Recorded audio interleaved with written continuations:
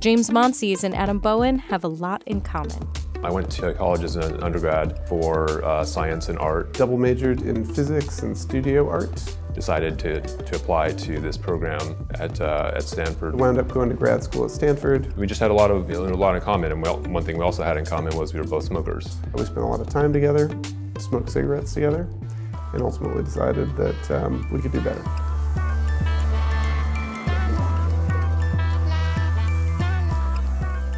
When Monsees and Bowen decided that they could do better than cigarettes, they formed an e cigarette company called Plume. What we realized is people don't want a safer cigarette, they want to move past cigarettes. Plume later became Pax Labs, and in 2015, Pax introduced a product called Juul. In 2017, Juul spun off into its own company, Juul Labs. It's hard to imagine an area that can be more powerful to public health in particular than to eliminate cigarettes from the face of the earth. It is one of the most successful consumer products of all time, if not the most successful, and yet it kills more than half of all people who use them long term.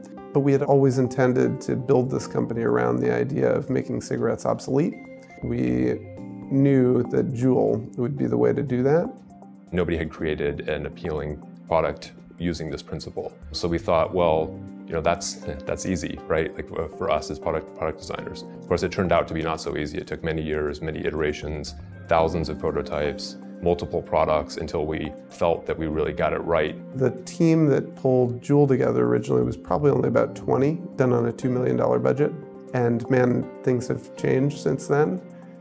Juuls are the one of the most popular products that we sell here. I mean, at my college campus, it's really popular. I definitely know it's it's up and coming. It's one of those products that just flies off the shelves. They're used like a lot in parties. I've noticed recently a lot of people using the Juul on social media. I've seen it on uh, a Dave Chappelle stand-up.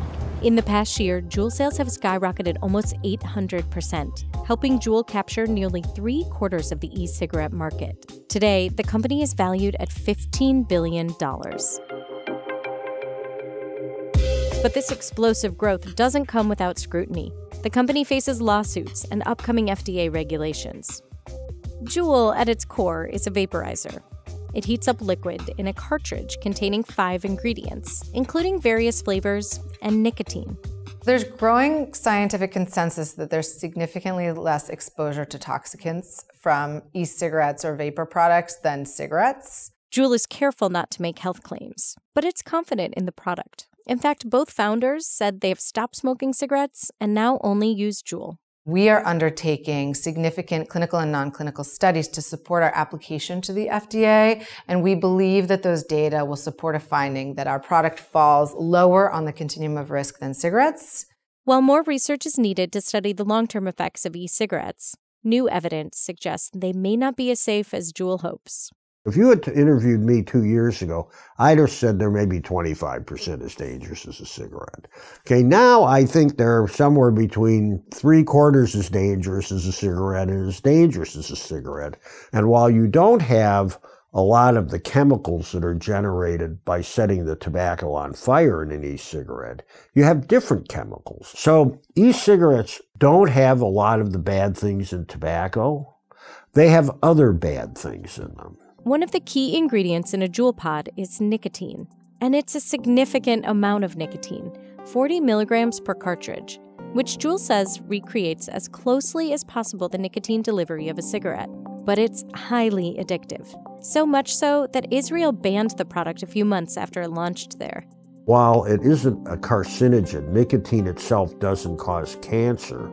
It interacts with cancer cells in a way that makes cancers worse it stimulates your nervous system, and that over a long time is bad for your cardiovascular system and leads to heart disease.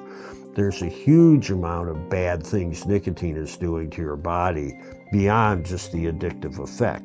The company recently added nicotine warning labels and introduced a lower nicotine pod.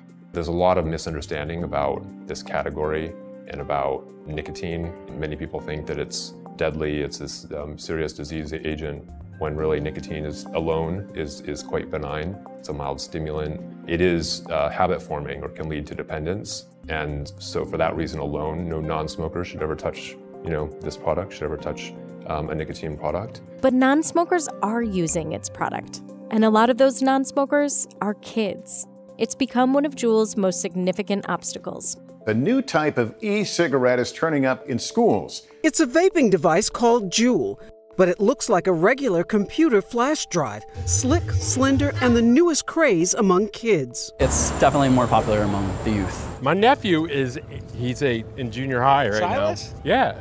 And he he told me about Juul before I had to hear about Juul. Are you serious? Yeah. That's what kids are doing.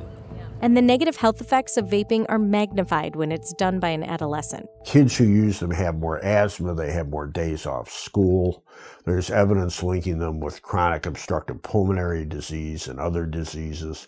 Addiction is not a phase. It's not like something kids kind of grow out of when they go from being teenagers to adults. Those changes are permanent. Juuling has even become a verb, and schools across the country are struggling to keep it out of classrooms. We've invested $30 million in youth prevention activities, including secret shopper programs. And honestly, we're seeking guidance everywhere we can in how to migrate youth off and away from our products as aggressively as possible.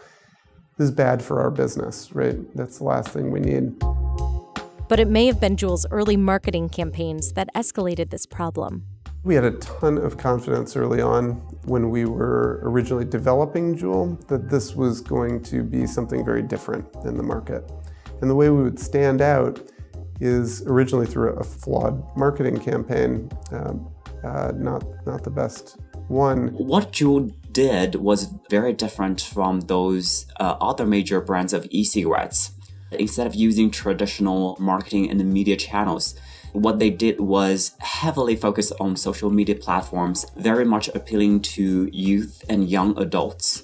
There's a high correlation between the activities on social media platform and their sales in retail stores kids, you know, 15, 16, they are also very much attracted to the content that appealing to young adults aged between 18 and 24. Earlier this year, Juul significantly changed its social media policy now no longer using models in its advertising, and focusing instead on testimonials from adult smokers who switched to Juul. If I was up, I was smoking. We've built the underpinnings and now the roadmap to ultimately eliminating all underage use of our product.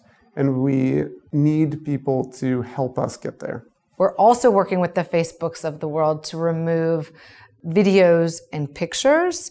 And we are working to create long term partnerships with social media platforms to help encourage them to remove or not permit this content in the first place. Juul pods come in a variety of flavors. But this is another potential problem area for the company. Flavored tobacco products are a key way that the tobacco companies appeal to kids. The FDA banned cigarette companies from using characterizing flavors, in part because they are attractive to kids. Juul, however, believes flavors are vital to its goal of converting adult smokers. We are very supportive of reasonable regulation on flavors. We do feel, however, that flavors are incredibly important for adult smokers to switch, and that is our mission. We have this ocean of evidence that flavors are bringing kids into the market. And then we have, you know, a very limited body of evidence supporting these claims that flavors are necessary to help adults switch to e-cigarettes. Juul must submit its product to the FDA for review by August 2022, a recently extended deadline. But it's moving forward with a new product internationally, one that it says will give users more control over the vaping experience. We will be introducing a connected device version of Juul um, internationally. Consumers will, for the first time in this industry, be able to visualize and control their consumption. And frankly, it's incumbent upon us to empower them to do anything they want with our platform. And if that means to stop using it, we will do that.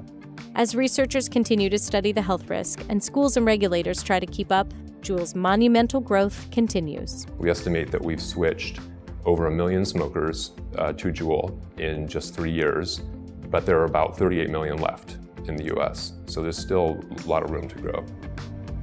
The first time I told my mom, we're going to pursue this tobacco thing, her immediate reaction was, Why would you do that? You can do anything you want, just God, don't go near tobacco.